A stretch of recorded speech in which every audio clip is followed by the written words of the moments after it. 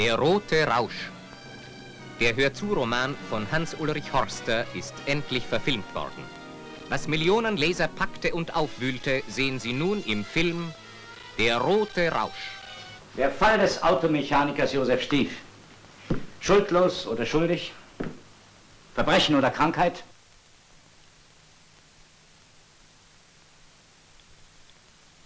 Nicht einsperren. Bitte nicht einsperren. Wer sind Sie?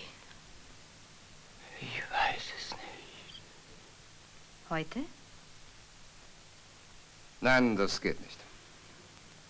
Morgen? Weiß ich noch nicht. Der Herr hat wohl was Besseres. Es war ein großer und hübscher Garten mit weichem grünem Gras. Auf dem Rasen standen schöne Blumen wie Sterne. Eines Tages kam der Riese nach Hause zurück. Als er nach Hause kam, sah er die Kinder in seinem Garten spielen. Was wollt ihr hier? schrie er gehässig. Und die Kinder liefen weg. Es gibt Fälle, die sich nicht mit normalen Maßstäben messen lassen. Wenn wir ihn in die Freiheit entließen, vielleicht würde er wieder ein normales bürgerliches Leben führen. Vielleicht ist er geheilt. Aber vielleicht kommt auch wieder dieser teuflische rote Rausch über ihn.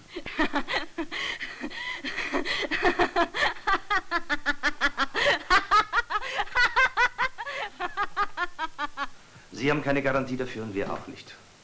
Und deshalb werden wir uns auf keine Experimente einlassen und ihn jagen, bis wir ihn haben. Ein Mensch wird gejagt. Was ist seine Schuld? Au! Hierher! Darüber ist er gelaufen!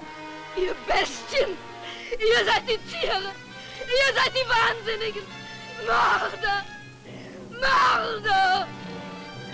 Ein ungewöhnliches Thema, ein ungewöhnlicher Film. Mit einer ungewöhnlichen Begabung. Klaus Kinski. Brigitte Grotum. Sika Trupp. Marina Petrova.